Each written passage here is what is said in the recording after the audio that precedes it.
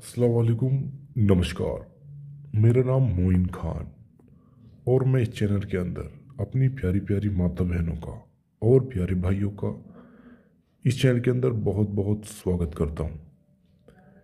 मैं अपनी प्यारी प्यारी माता बहनों के लिए और प्यारे भाइयों के लिए लेकर के आया हूँ एक खास उपाय जिसको करके आप किसी को भी अपने वश में कर सकते हैं।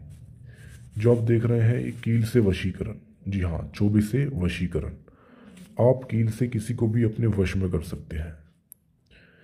मैं, दोस्तों, अगर आप किसी से प्यार करते हो, किसी लड़की से आप प्यार करते हो, और वो लड़की आपसे प्यार नहीं करती, वो आपकी तरफ़ देखती भी नहीं है, पर आप उससे प्यार करते हो तो आप इस वशीकरण से उसको अपने वश में करके आप जैसा कहोगे वो वैसा ही करेगी।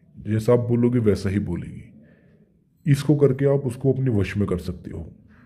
पर ये नुस्खा जितना आसान आपको लग रहा है, उतना आसान नहीं होता।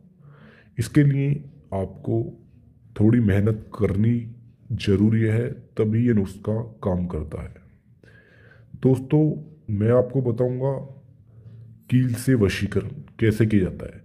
दोस्तों, अगर आपका अगर आपका कोई प्रेमी आपसे दूर हो गया है, या कोई प्रेमी आप जिस लड़के से प्यार करती है, कोई लड़की है, किसी लड़की से प्यार करती है, वो लड़का उससे प्यार नहीं करता, या फिर किसी और से प्यार करता है, और वो लड़की चाहती है कि ये मुझसे प्यार करे, मेरी बात माने तो इस वशीकरण से सिर्फ़ सिर्फ़ और सिर्फ़ ऐसे व्यक्ति के लिए है, क्योंकि ये वशीकरण बहुत आसान और प्रभावशाली है। इस वशीकरण से वो उस लड़के को अपने वश में कर सकती है। फिर वो लड़का सिर्फ़ उसकी बात मानेगा, जैसा वो कहेगी वैसा करेगा।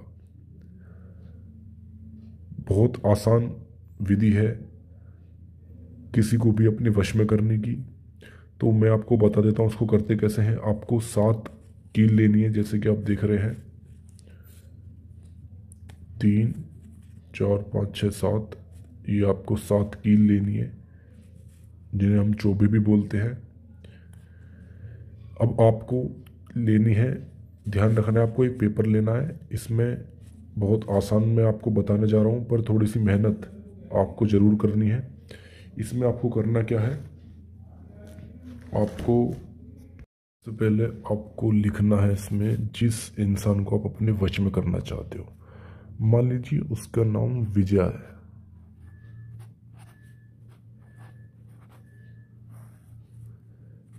पूरा नाम आपको लिखना है, ये बात ध्यान रखनी है, क्योंकि आधे अधूरे वशीकरण होते हैं, अगर आप पूरा नाम नहीं लिखते। उसके बाद आपको ये वशीकरण मैं आपके लिए ऐसा लाएँ, क्योंकि कमेंट बॉक्स में बहुत से लोग माता का नाम नहीं पता, पूछते रहते हैं तो हम किसका नाम लिख सकते हैं, हमें किसी माता का नाम नहीं पता। तो अगर आपको माँ का नाम नहीं पता है तो यहाँ पर राशि, अपनी जो राशि है, मान लो तुला है, कन्या है, सिंह है, जो भी राशि आपकी, वो आप लिखोगे अब आपको करना क्या है? यहाँ पर आपको प्लस का साइन लगाना है। राशि आपको ध्यान से लिखना है, ज़रूर आपको लिखना है राशि। इसके बाद आपको लड़की का मतलब कि जो करना चाहता है, मान लीजिए लड़की है, उसका नाम है, उसका नाम है शीतल।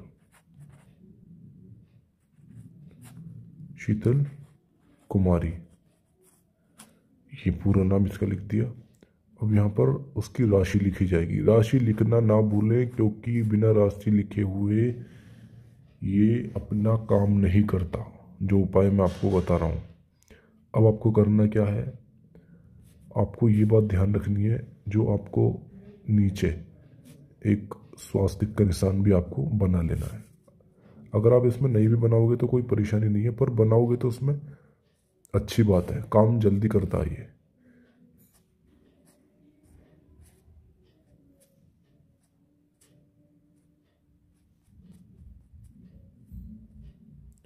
इस तरीके से। अब आपको इसमें करना क्या है? ये आपको इसको एक बार ही फोल्ड करना इस तरीके से। दूसरी बार फोल्ड नहीं करना है इसको। इस तरीके से आपको इसको एक ही बार फोल्ड करना है और ये कील इसके अंदर आपको लगानी है। इस तरीके से सातों कील आपको इसके अंदर लगानी है ताकि बंधन मज़बूत रहे इस तरीके से। ध्यान रखना आपको कील लगाते समय आपको सॉरी मैं आपको लगा के दिखाता हूँ। आप देख रहे हैं, इस एक बार फोल्ड करने के बाद इन कीलों को जैसे कि आप देख रहे हैं, इसके अंदर आपको लगाना है। ध्यान रखनी है, सातों किलो को इसके अंदर इस तरीके से करना है।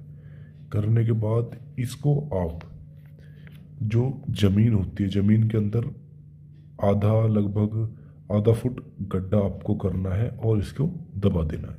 पर ये आपको ख़ास तौर से ध्यान रखना है कि इसको करते हुए आपको कोई ना देखे।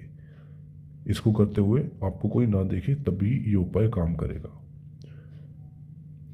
तो दोस्तों, विदा मैं आपसे लेता हूँ। आपका उपाय पूरा हो गया और अधिक जानकारी इसकी आप नंबर से ले सकते हो कमेंट बॉक्स में पूछ करके। इसी के साथ मैं आपसे विदा लेता हूँ दोस्तों। नमस्कार। अस्सलाम वालेकुम।